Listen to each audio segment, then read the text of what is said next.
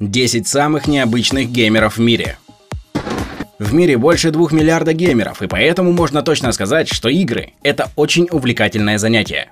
В то время как мы можем предполагать, что в основном геймеры – это молодые парни, не стоит верить этому. В мире геймеров огромное количество необычных игроков, которые отличаются от остальных по многим признакам, будь то возраст, инвалидность или даже порода. Такие примеры геймеров вам в голову не придут. Виктор де Леон III.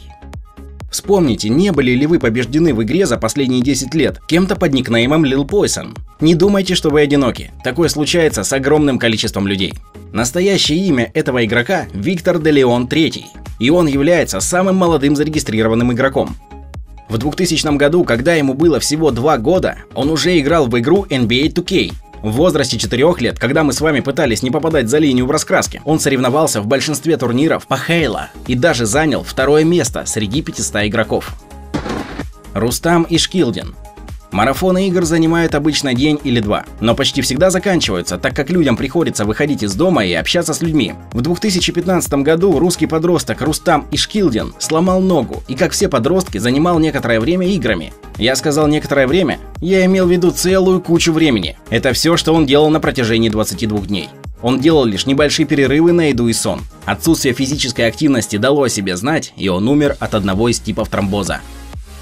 Бен Брин Одна из важнейших необходимостей для геймеров – это зрение. Но Бен Брин опровергает это утверждение. Необычным этого геймера делает тот факт, что он слеп.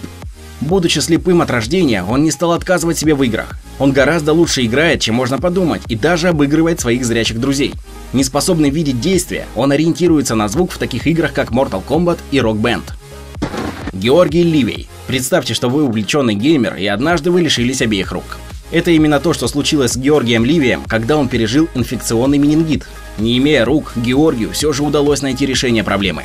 Он совместно с инженерами из университета Джона Хопкинса разработал контроллер, которым можно управлять при помощи ног.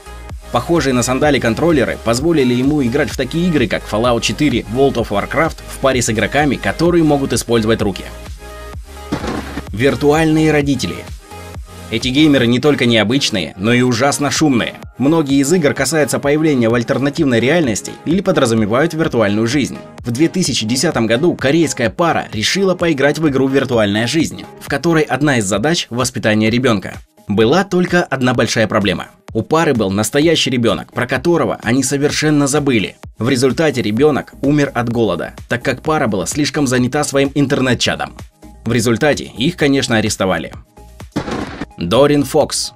Бабушки должны печь печенье, играть в карточные игры и баловать внуков, а не стрелять, лазить и убивать. Тем не менее, Дорин Фокс никак не может перестать играть в Call of Duty. В возрасте 70 лет она подсела на эту игру и даже стоит в очередях в магазин, чтобы купить новинки.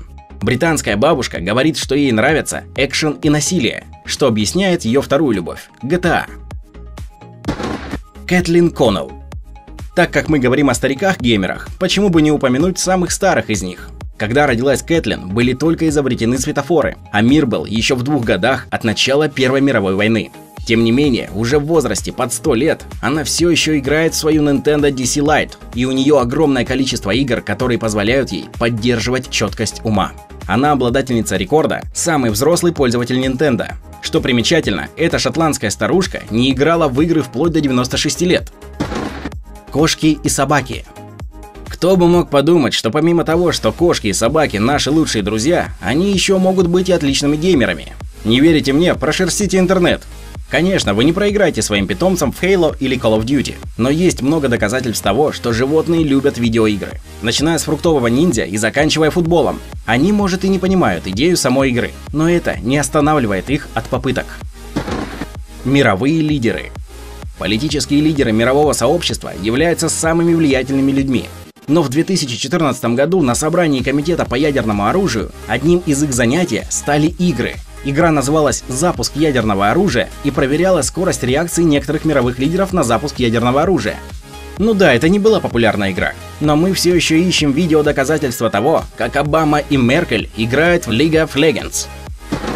Тио Сатрио этот 11-летний мальчик совсем не похож на своих сверстников, кроме того, что любит видеоигры.